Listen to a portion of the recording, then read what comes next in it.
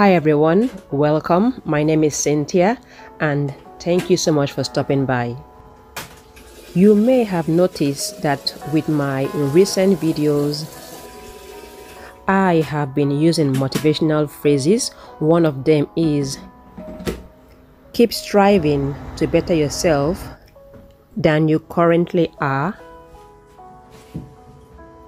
And I say that phrase to motivate myself and others to avoid competing with anyone. Just focus on yourself and your God and make changes, basically positive changes to better yourself. And it could be basically anything. It could be improving your diet, your fitness level, focusing on a particular career, building your business, things like that.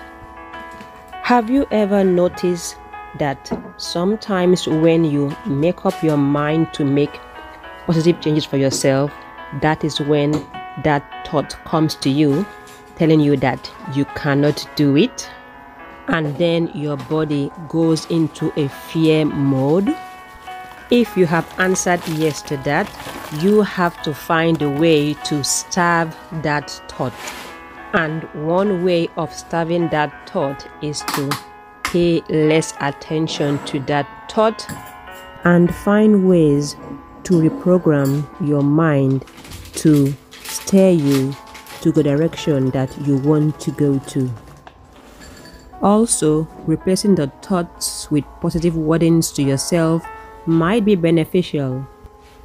Let me share a brief story about me. I might have mentioned I went back to school again, basically to university again, after the birth of my fourth child. Did I find it challenging? Of course, it was a challenging period in my life. I had reduced finance at that particular time, and the odds of me completing that particular degree bearing in mind my circumstances during that period was low or may I say super low. But I had faith in God.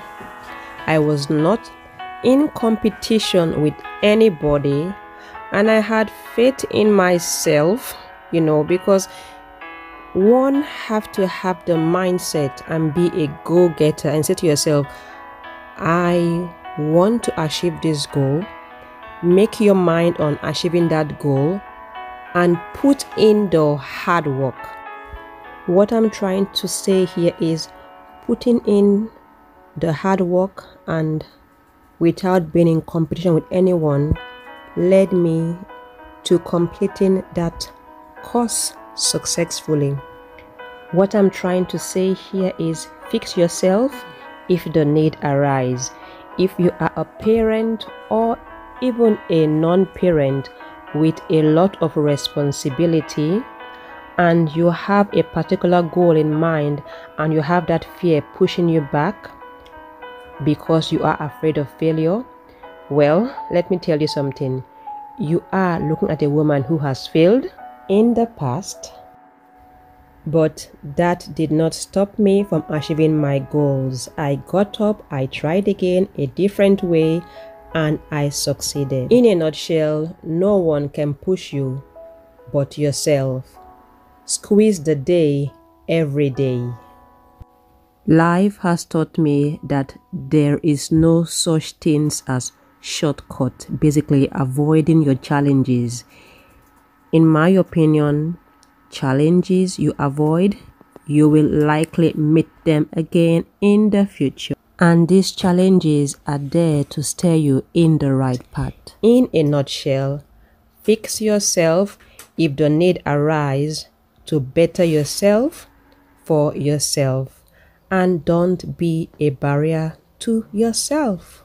And start with the baby step.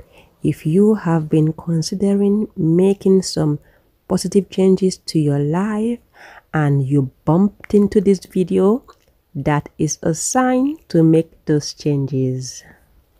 Until next time, bye guys.